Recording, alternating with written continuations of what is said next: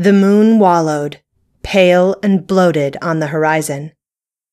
The tide, running abnormally high even for this time of Iyun's near approach, had turned, no longer reversing the river's natural flow. It swelled and accelerated the headlong rush of waters down to the sea. Oars creaked in rusty oarlocks as a flat bottomed rowboat, carrying a grizzled old man and a sturdy youth, headed across the current, pulling for the dark western shore. The old man sat on the stern thwart, scanning the river, while the boy rowed. At first glance, they might have been mistaken for seafaring men, for they dressed much alike, in cloth caps and long, full skirted coats of some rough fabric so worn, patched, and stained that it could no longer be identified. They wore their hair in short, tarry pigtails, sailor fashion. But their pale faces gave them away, and their wide, dark eyes, like the eyes of some nocturnal bird of prey. They were river scavengers, Caleb Brown and his grandnephew Jedediah, men who slept by day and worked at night, rowing out on the river after dark when the fishing scows, barges, and pleasure craft that plied the river Lunn by day were all tied up in dock. Near the middle of the river, Caleb reached out with the gaff hook to snag a piece of floating wood. It proved to be a piece of decorative molding depicting one of the seven fates, a gilded figure like to a naked man with outstretched eagle's wings sprouting from its shoulders. The gold paint was beginning to flake away, giving the features a leprous cast, but the wood was still sound. With a grunt of satisfaction, Caleb dropped the molding in the bottom of the boat. When they reached quieter waters near the shore, Jedediah rowed upstream, turned the boat, and started across again. Upriver! Caleb's hoarse warning barely allowed Jed time to reverse the stroke of one oar and turn the boat so that the bow took the impact. There was a dull thud, and the boat rocked wildly as something heavy glanced against the bow and scraped along the side.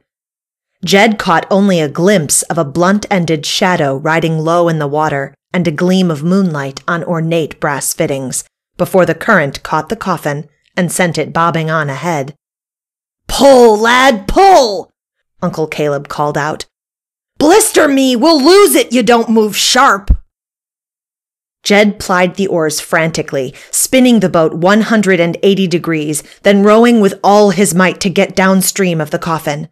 Then it was Caleb's turn to move swiftly, using the gaff hook to draw the long black box closer, then tying ropes through two of the handles. With the coffin securely in tow, Caleb sat down again, rubbing his hands on the sides of his thighs. Ebonwood by the look of it, and see them fancy handles? Some fine country gentleman or a baron or a jarl inside, maybe. Should be money and jewels as well. Jed nodded glumly. If not gold coins or a jeweled brooch, the long black box would likely contain something of value. Yet at the thought of opening the coffin and claiming those valuables, he could not repress a shudder. You got no call to be so squeamish, snorted Caleb. You was bred for this life, which is more'n I can say for some of the rest of us. You got no call to quake and rattle your teeth at the sight of a box of old bones. Jed knew it was so. Just about as far back as he could remember, he had been accompanying his granduncle on these nighttime expeditions. But even before that, as Caleb was fond of reminding him, he had been a dependent of the river and the tide. The very cradle that had rocked him as a baby was constructed of planks from the wreck of the Celestial Mary. His first little suit of clothes, in which he had amazed the other urchins in velvet and lace, his mother cut from the cloak of a drowned nobleman. And much of the food and drink which nourished him since had been purchased with dead man's coin.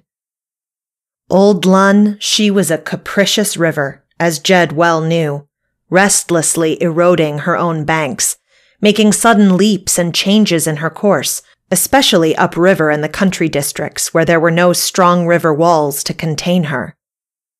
Swelled by a high tide or by the rains and snow melt of quickening, She swept away manors and villages, churches and farmhouses, crumbled old graveyards, and flooded ancient burial vaults, dislodging the dead as ruthlessly as she evicted the living.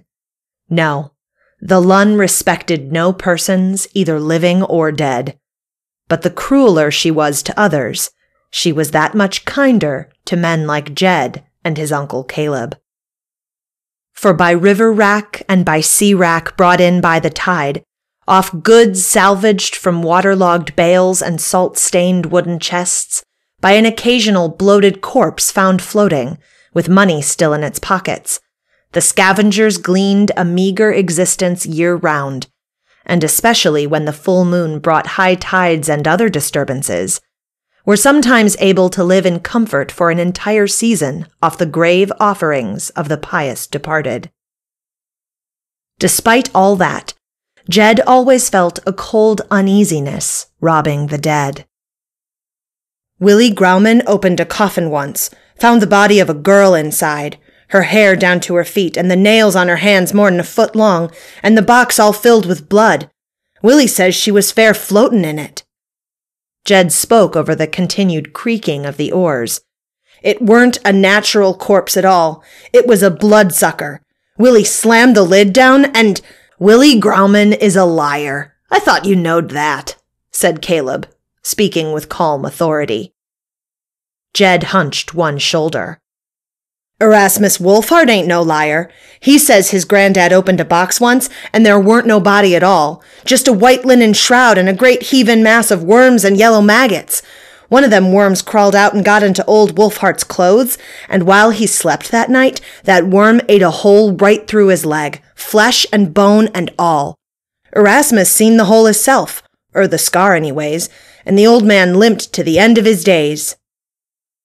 I heard another story how Carl Wolfhart lamed his leg, and it weren't nearly so romantic, Caleb replied coolly. He reached into a pocket somewhere inside the capacious folds of his coat and removed a long stemmed pipe.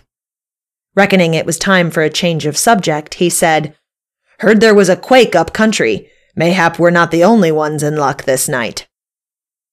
When Ayun drew near the Earth in her elliptical orbit, the unstable country upriver was prone to seismic tremors and quakes, and sometimes it was the agitated Earth not the river, that leveled cities and towns and forests, or in a ghastly reversal, swallowed the living as it spewed forth the dead.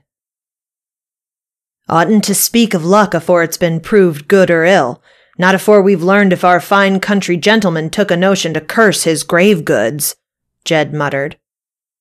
He remembered a time twelve weeks past, in the season of frost, when old Hagen Rugen had come into possession of a pair of solid silver candlesticks, the grave offering of a rural parson, and died not three days later of the horrors.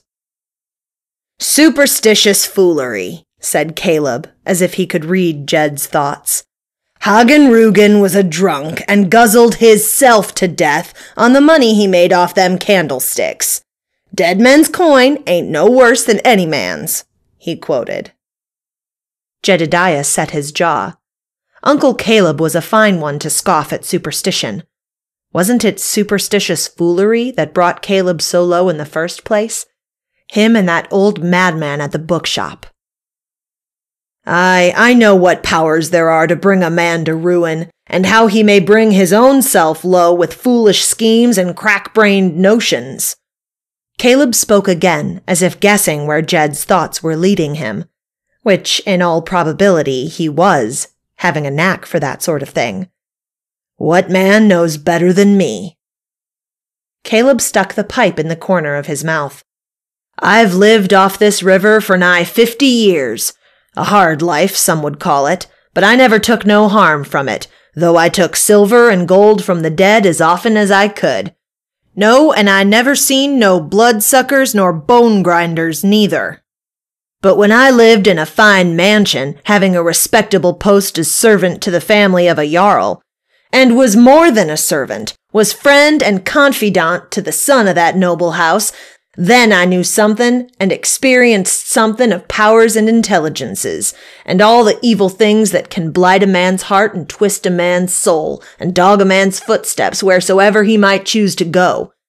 And all with no other object than to bring him down to ruination. Caleb nodded emphatically, took the pipe out of his mouth, and tapped it on the side of the boat as if for further emphasis. When you've seen and done and suffered as much as I have, lad, then you'll be fit to say what's superstitious foolery and what's just plain tomfoolery. Until then, you'd do well to let yourself be guided by wiser heads. Jed said nothing, but continued to row.